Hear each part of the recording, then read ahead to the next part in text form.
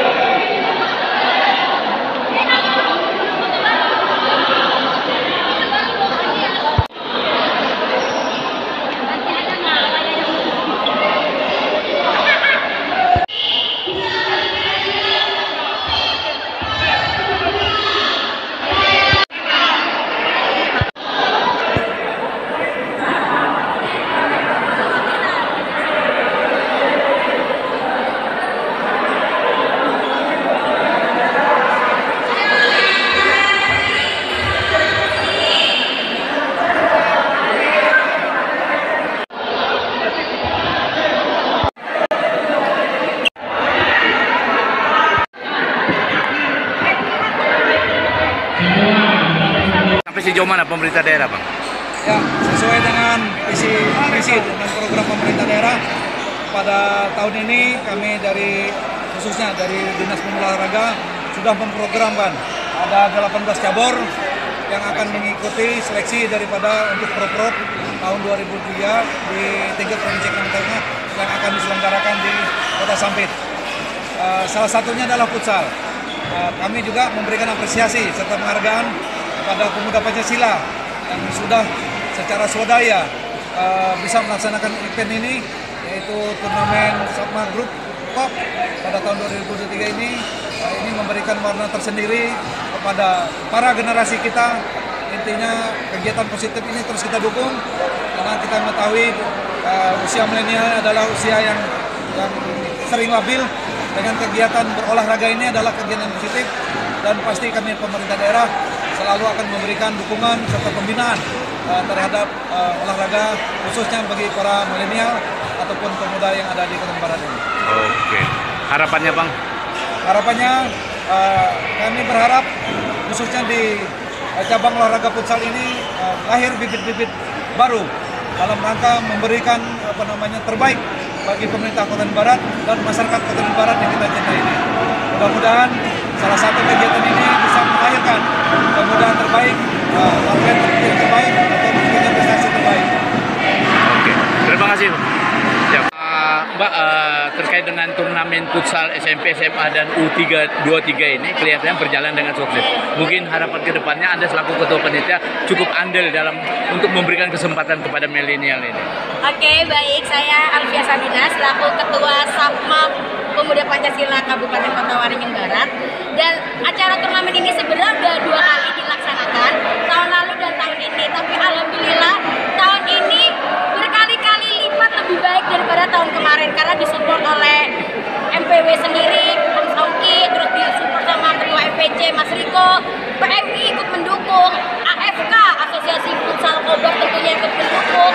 Dan acara ini tuh memang di apa ya digunakan untuk mencari bakat-bakat anak-anak Kobar ataupun Kalimantan Tengah khususnya karena kita kan mau for prof gitu jadi alhamdulillahnya Sapma ini mendapat hati tersendiri di pecinta turnamen bahkan teman-teman bilang bulan depan kita buat turnamen untuk umum insya Allah kalau tenaganya ada karena kita Mungkin harapan ke depan dengan adanya regenerasi milenial untuk bisa meningkatkan motivasi dalam sistem futsal. Mungkin Anda selaku pengelola bagaimana nanti? ya harapannya tetap bermain dengan sportif terus tetap mengasah kemampuan karena untuk para pemenang jangan sombong bola itu bulat. Karena kan sesuatu tuh bisa aja terjadi kayak gitu. Tetap melatih kemampuan jangan mudah kayak berbangga diri karena telah menjadi juara. Dan yang belum juara tetap semangat karena siapa pun bisa menjadi juara. Mana yel-yel, eh, saya lihat ada yel-yel tadi. Yel-yelnya apa Mbak? Oh ini ya, Pancasila dulu ya Bu ya. Pancasila. Pancasila, abadi. Pancasila, abadi. Sekali layar terkembang, surut kita. Hari ini eh, futsal final ya, yang mana pada intinya eh, Sukamara hadir pada hari ini. Nah untuk saat ini berapa tim yang diturunkan? Hari ini untuk pemain 12, kipernya 2. Full full squad. Oh gitu. Nah untuk saat ini eh, jumlah yang hadir dari Sukamara berapa banyak? Kalau penonton sih dari anak-anak ya yang ada di sini ramai. Ada 3 40 orangan adalah. 30-40 orang ya dari kabupaten tetangga Sukamara ya. Anak SMA teman-temannya yang main. Oh itu ya. Bang harapan ke depannya bagaimana Anda sebagai pelatih ini? Ya harapan ke depannya semakin banyak turnamen aja. Soalnya kan di masa-masa yang muda ini itu yang potensi-potensi untuk jadi pemain di kelas provinsi bahkan di prapon. Oh, Gitu, Pak. saat ini sudah tampil di provinsi juga. Sempat waktu yang Kabupaten Sukamara pernah di Bandung mainnya. Oh, di Bandung ya. Itu tahun 2017. Oh. Jadi malam ini eh, final ya. Ya final lawan Nantarsu. Oh, ada harapan juara? nih? Pastilah. Mau juara lah. Oke. Sukses, Bang. Oke siap. Siap. Eh, dengan kegiatan yang usia 23 tahun ini kelihatannya menambah semangat milenial ya. Nah, sampai sejauh mana Pak Eko selaku tokoh lah? Alhamdulillah Mas Taufik, memang kita harapkan ya olahraga apa pun, wabil khusus olahraga sport untuk apa ini futsal ya. futsal ini betul-betul ini kita canangkan dari usia dini yang kebetulan salah satu ortum dari pemuda Pancasila Satma yang punya dedikasi untuk mengadakan turnamen khususnya untuk mensasar atlet futsal ini supaya nanti kami bisa melalui seleksi ini event-event ini bisa meningkatkan pemain atlet kualitas di tingkat daerah apalagi provinsi lagi kan? Nah, Nah, nanti bisa menunjang untuk olahraga futsal ini untuk mencapai terproduksi melalui seleksi, seleksi berkelanjutan dan sukses juga di pro yang tiga bulan akan datang mungkin. oh. Di Kalau- sangat terima kasih apabila generasi muda yang di Satma ini mengadakan event turnamen untuk segala event olahraga khususnya ini futsal ini mudah-mudahan dapat membangkitkan semangat olahraga di kalangan muda dan untuk bidang-bidang olahraga olahraga yang itu harapan saya sebagai orang tua untuk dedikasi anak muda-muda untuk giat di bidang olahraga. Oke, terima kasih Pak Eko. Bang, terkait dengan hari ini kan final, yang mana final ini merupakan motivasi ya bagi masyarakat khususnya kaula muda milenial. Nah, sebagai diaspora bagaimana menyikapi ini? Terima kasih Eh, kami dari Dispora tentunya sangat mensupport inilah eh, awal daripada bibit-bibit pemain yang terbaik. Dimulai dari anak-anak pelajar.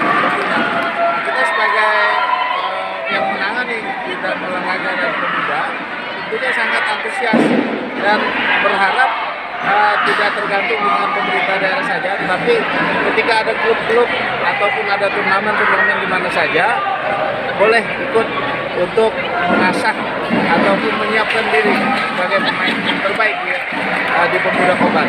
Dan tentunya dengan kegiatan ini kita harapkan juga mengurangi hal-hal yang bersifat negatif eh, yang mengarah kepada merugikan eh, anak itu sendiri.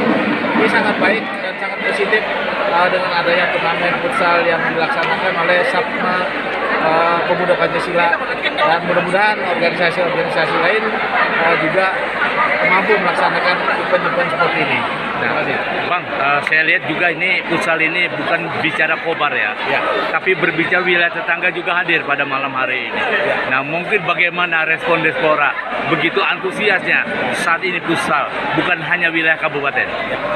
Ya tentunya dengan berbagai kabupaten yang mengikuti da- dari event ini, kita tentunya bisa mengukur sejauh mana pemuda-pemuda kita, atlet-atlet kita Kobar mampu bersaing pertama di wilayah barat. Nanti juga akan eh, dalam rangka menghadapi Koprov yang dilaksanakan di Sampit pada bulan Juni nanti, ya tentunya kita eh, terus mengasah supaya atlet-atlet kita begitu siap dan dapat diperhitungkan di kancah provinsi. Mungkin harapan ke depannya, Bang? Ya, harapan kita ke depan eh, kepada klub-klub futsal maupun olahraga yang lainnya, mari kita laksanakan event-event itu dari hal yang eh, terusia dini. Eh, dengan adanya event ini tentunya menggeliat UMKM di Bogor juga akan eh, terasa. Apalagi dari daerah lain, kabupaten lain yang mengikuti sini tentunya eh, ada keuntungan tersendiri untuk eh, Kobar dalam hal ini. Terima. Oke. Terima kasih Pak Jamri. Siap. Oke, Pak. Siap.